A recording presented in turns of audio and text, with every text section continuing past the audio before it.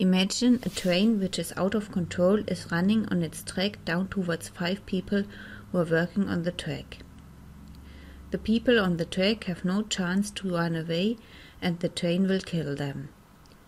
But fortunately, John passes by. And there happens to be a lever with which John can change the direction of the train on another track.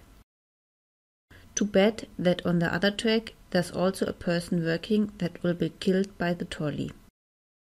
So should John pull the lever to switch the direction of the train? Or should he not interfere and let the train kill the five persons? Comment in the comment section below.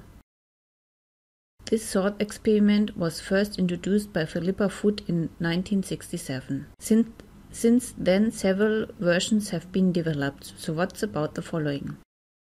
This time, John is standing on a bridge when he notices the out of control train on its way down towards the five people. But with him on the bridge stands a very, very fat man who is large enough to stop the train. He's even bending over the fence of the bridge a bit so that John could push him. John himself isn't big enough to stop the train. So should he push the fat man in front of the train to save the five?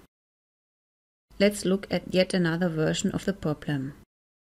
In a hospital, there are five patients who need different organ transplants very urgently. One needs a lung, another a heart, another a liver, and two patients need brains. Fortunately, a stranger shows up in the hospital for just a regular checkup.